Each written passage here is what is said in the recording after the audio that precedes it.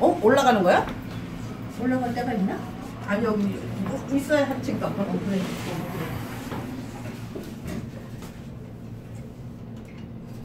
왔길 얼렁탔지.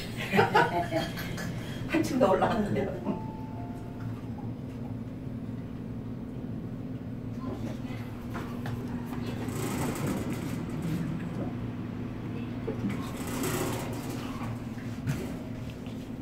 엘리베이터 고치는 거야? 전국? 아닌 것 같은데. 이 엘리베이터 희한하게 생겨놨어. 응. 고치고 나서. 응. 내리는 사람이 없으면 8층까지 와서도 그냥 내리라. 열지 열리지도 않고. 그래갖고 여기다 몇 번 얘기했는데도 안 됐지. 한두 사람이겠어 얘기한 사람이?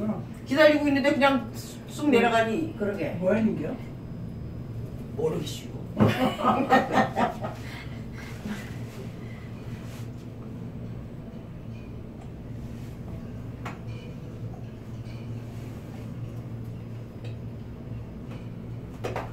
고속이네 그냥 한 번에 쫙 내려오고. 안 내려왔어. 고속이다.